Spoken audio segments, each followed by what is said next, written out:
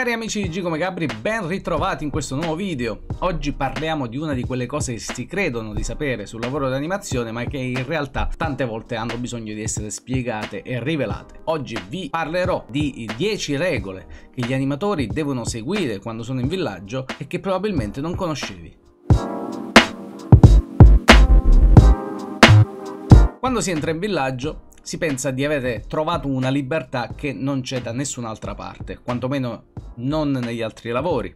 E in parte questo è vero, si ha comunque un certo margine di manovra quando si parla con le persone, quando si conoscono nuove realtà, quando si fanno cose che normalmente non si farebbero. Ma è pure vero che il lavoro dell'animazione negli ultimi anni è cambiato tantissimo e ritrova oggi una serie di regole molto stringenti che tante volte un animatore non si aspetta, specialmente se a prima stagione ovviamente. Ora fermo restando che molte di queste regole possono trovare una variazione a seconda dell'agenzia che le applica, in linea di massima possiamo dire che queste regole valgono un po' per tutte le situazioni in cui ci sono degli animatori a contatto con degli ospiti. Andiamo quindi a vedere 10 regole partendo dalla prima. La prima regola infatti, che molti probabilmente già conoscono, è quella del non tenere le mani in tasca. Ecco, un animatore non deve mai tenere le mani in tasca, ma perché? Questo fa parte della comunicazione paraverbale, ve ne ho già parlato in altri video e eh, nel momento in cui una persona in questo caso un animatore, tiene le mani in tasca, fondamentalmente trasmette tramite il proprio corpo, a prescindere da quello che dice, dalla sua espressione facciale o dal comportamento in generale che sta avendo, una forma di chiusura, di diffidenza. Ora è consigliato per tutti quei lavori che riguardano il contatto con il pubblico il fatto di tenere le mani in vista, specialmente in particolar modo i palmi delle mani. Quindi la regola numero uno per un animatore è non tenere mai le mani in tasca. Regola numero 2.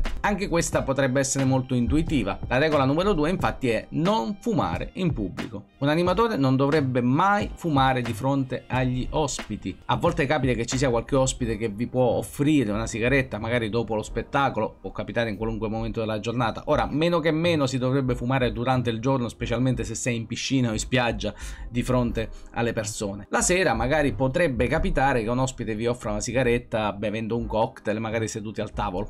Ecco, in genere questa cosa non si dovrebbe fare. Un animatore non dovrebbe mai farsi vedere da un ospite che fuma, perché l'animatore dovrebbe sempre trasmettere agli ospiti questa immagine di persona che tiene alla salute, educata, insomma, dovrebbe sempre essere un esempio per le persone che lo guardano. In particolar modo se ci sono bambini che vi vedono fumare non è bello, non sta bene. Quindi è sempre meglio evitare di fumare e anche svapare o anche usare l'ICOS, è la stessa cosa fondamentalmente, di fronte agli ospiti. Potete farlo magari in una zona più riservata, una zona di staff, ovviamente fuori dagli orari di lavoro o comunque in un momento di pausa. Davanti agli ospiti non si fuma.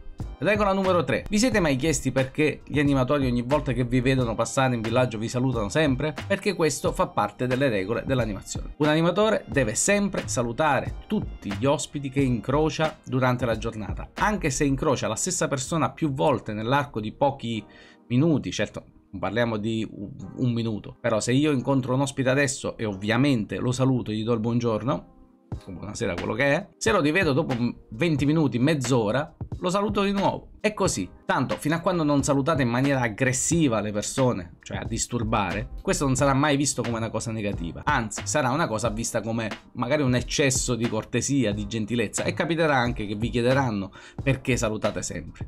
Voi potete rispondere semplicemente perché siamo gentili Regola numero 4, questa è una regola che vale per tutti gli animatori di contatto, ma in generale per tutti gli animatori, dato che tutti gli animatori fondamentalmente sono animatori di contatto, ossia non si può sostare per più di alcuni minuti con la stessa persona. Un buon animatore di contatto riesce a dedicarsi alla stessa maniera un po' a tutti gli ospiti, che sia il bambino, che la persona anziana, che la bella ragazza, che la signora. Dovrebbe dedicare sempre quei 2, 3, 5 minuti massimo per ogni persona, specialmente nei villaggi grandi. Quando si tratta di un villaggio con 500, 600, 1000, 2000 persone, è chiaro che in un'equipe animazione di 15 animatori, di 20 animatori, anche di 40 animatori, se ogni animatore sta mezz'ora con la stessa persona a parlare, non riuscirà mai a coprire tutti gli ospiti del villaggio. Non ci riuscirà comunque, ma per raggiungere il miglior risultato, un animatore dovrà sempre distribuire i minuti che ha a disposizione di contatto per più ospiti possibili. Un animatore verrà sempre rimproverato dal proprio capo animazione se si soffermerà troppo tempo con la stessa persona a parlare. Regola numero 5 direttamente legata alla 4, non si può assolutamente sostare per più di qualche istante a parlare, a chiacchierare con un collega, che sia un animatore ma anche un altro membro dello staff, a maggior ragione.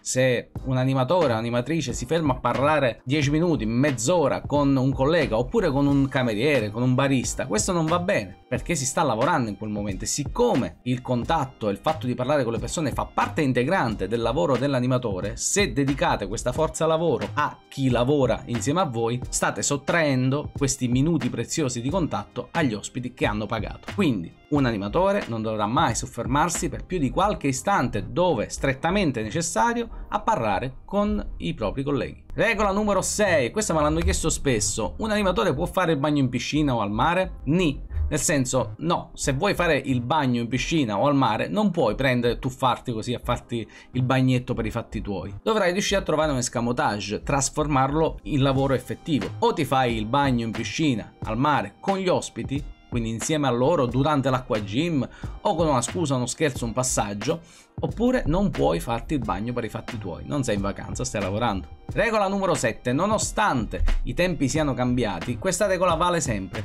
cioè non puoi parlare al telefono davanti agli ospiti. È vietato, non si può, non si dovrebbe. Sta brutto pure da vedere l'animatore che mentre fa contatto con gli ospiti suona il telefono. Ah, mi scusi, non sta bello. Se dovete usare il telefono, appartatevi sempre. Dovete stare rinchiusi da qualche parte un angolino senza farvi vedere. Siate sempre reperibili per il vostro capo animazione o comunque per i responsabili, perché se vi cercano non vi trovano, si incazzano pure. Ma badate bene a come usate lo smartphone. Dovete mandare un messaggio WhatsApp a un collega, a capo animazione, vi appartate un attimo e lo fate. Davanti agli ospiti non si fa mai. Regola numero 8, questo fa parte sempre della comunicazione paraverbale. Avete capito che è importantissimo per gli animatori. Non appoggiatevi mai al muro. Un animatore non sta mai appoggiato al muro con le braccia concerte, appoggiato così, appoggiato così. Queste sono immagini degli animatori degli anni 80 probabilmente. Con gli occhiali da sole, la sigaretta, le maniche arrotolate una serie di cose terribili oggigiorno nell'animazione. Quindi non dovete mai stare appoggiati in maniera stanca, svogliata, perché è questo il messaggio che mandate alle persone che vi guardano e vi guardano. Gli ospiti vi guardano in ogni secondo. Quando vi vedranno appoggiato a un muro penseranno sei stanco.